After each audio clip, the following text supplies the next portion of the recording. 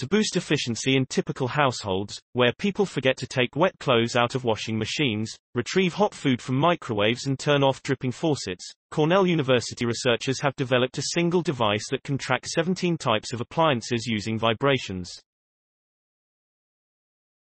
The device, called VibroSense, uses lasers to capture subtle vibrations in walls, ceilings and floors, as well as a deep learning network that models the vibrometer's data to create different signatures for each appliance, bringing researchers closer to a more efficient and integrated smart home.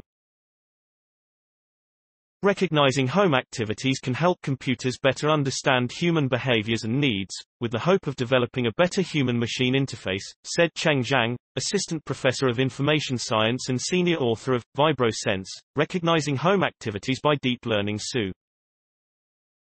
In order to have a smart home at this point, you'd need each device to be smart, which is not realistic, or you'd need to install separate sensors on each device or in each area, said Zhang, who directs Cornell's Sci-Fi Lab. Our system is the first that can monitor devices across different floors, in different rooms, using one single device. In order to detect usage across an entire house, the researcher's task was twofold, detect tiny vibrations using a laser Doppler vibrometer, and differentiate similar vibrations. The deep learning network was trained to distinguish different activities, partly by learning path signatures, the distinctive path vibrations followed through the house, as well as their distinct noises. The device showed nearly 96% accuracy in identifying 17 different activities across five houses, including dripping faucets, an exhaust fan, an electric kettle, a refrigerator and a range hood, in five houses over two days, according to the paper. VibroSense could also distinguish five different stages of appliance usage with an average accuracy more than 97%.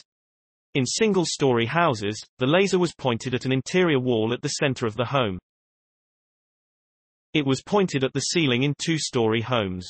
The device is primarily useful in single-family houses, Zhang said, because in buildings it could pick up activities in neighboring apartments, presenting a potential privacy risk. It would definitely require collaboration between researchers, industry practitioners and government to make sure this was used for the right purposes, Zhang said.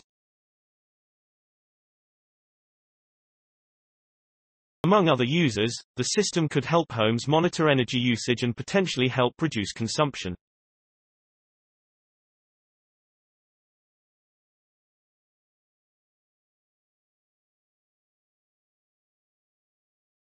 Since our system can detect both the occurrence of an indoor event, as well as the time of an event, it could be used to estimate electricity and water usage rates, and provide energy-saving advice for homeowners, Zhang said.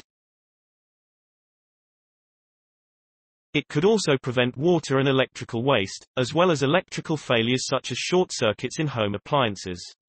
Story source. Materials provided by Cornell University. Original written by Melanie Lefkowitz. Note. Content may be edited for style and length.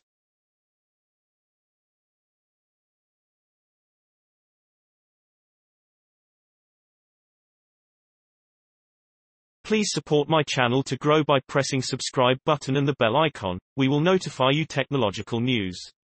Thank you.